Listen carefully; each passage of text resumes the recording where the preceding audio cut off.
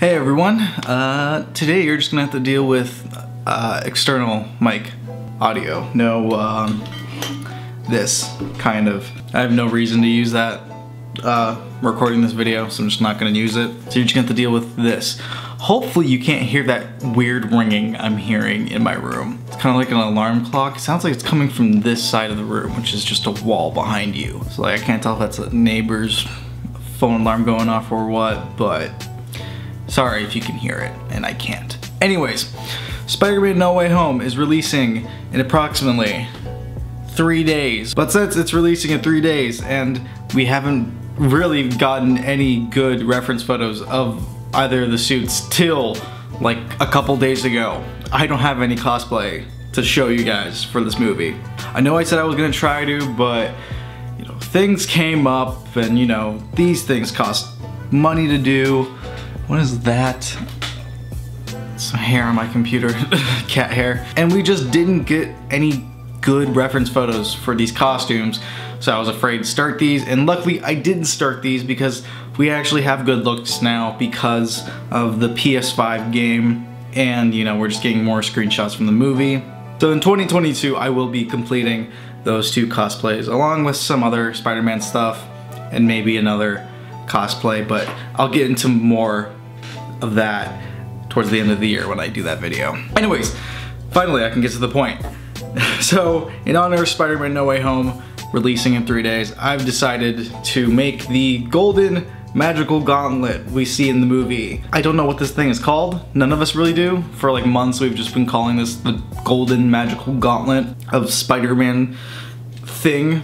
We've seen it all over the Hot Toys figures. We've seen it on uh, the, we've seen it on promotional art. We've seen it uh, actually in the trailer, the second trailer we got, it's in there for like two frames on the black and gold suit. It looks cool. Um, we're assuming that this is what he Spider-Man's gonna use to like capture all the multiverse men. Yeah, I made it. I don't know what else to really say about this thing. Uh, uh, but let's get into how I made this magical web slinging gauntlet. Hey everyone, this is Editor Johnny here um, currently editing this video. You see this footage? Like all this footage that like, you know, where I explain how I made the gauntlet? Well, it's unusable. It's unusable trash that I won't be using. So instead, you will have to deal with voiceover me going over everything here. So, yeah. Thanks a lot, Past Johnny, you fucking idiot, not being able to explain things well. So, for the Magical Gauntlet 3D file, I chose the one from do3d.com. I purchased this on Black Friday, so I only got it for like 10 bucks, which is really, really nice. I don't really like spending too much money on 3D files. I had to scale it down to about 78% to fit my forearm, and even that, it still couldn't fit on the build plate on my Ender 3. So what I ended up having to do was I had to separate the files into three sections, like a top, middle, and end. And after printing them out, I glued them together just using some super glue. Now, super glue isn't that strong when it comes to 3D parts, because I've had 3D parts just break when only using super glue. And plus, I had some 3D printing issues. You can clearly see here that, yeah, um, my 3D print got fucked when trying to print out. See, there are a bunch of mistakes, and you know, I wish I could fix that. Uh, I could have reprinted them, but instead, I decided to go a different route and try to salvage the print. I used epoxy sculpt, which is this like clay-like substance that hardens, and I used it in the past to make uh, custom Funko Pops and I used it on here to fill in all the gaps that I could, like the huge gaping gaps, and uh, just to give the back some strength too. I uh, added some to the back uh, where the seams were, just so it had some extra strength along with the glue. Then it was time to sand. I started sanding with a low grit sandpaper. I think it was like 120 grit.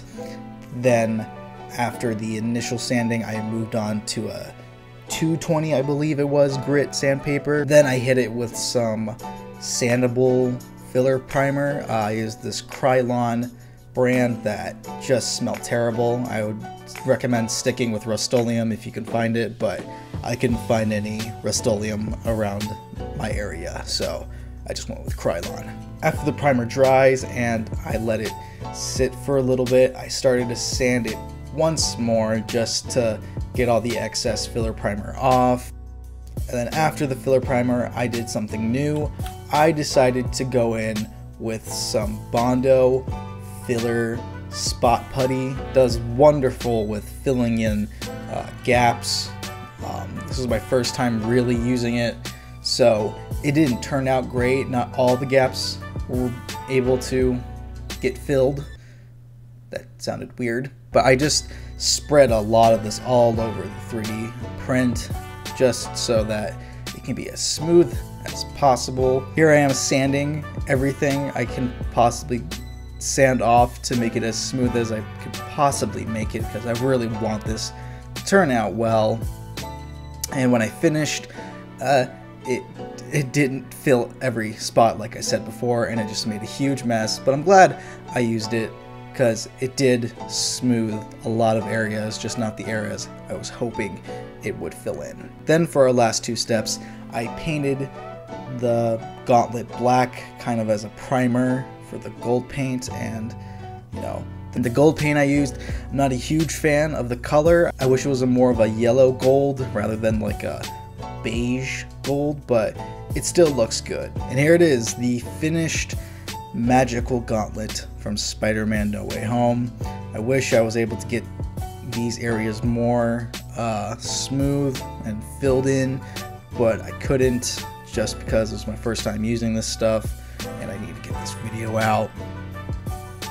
But yeah, I hope you guys enjoyed the process of me making the magical gauntlet.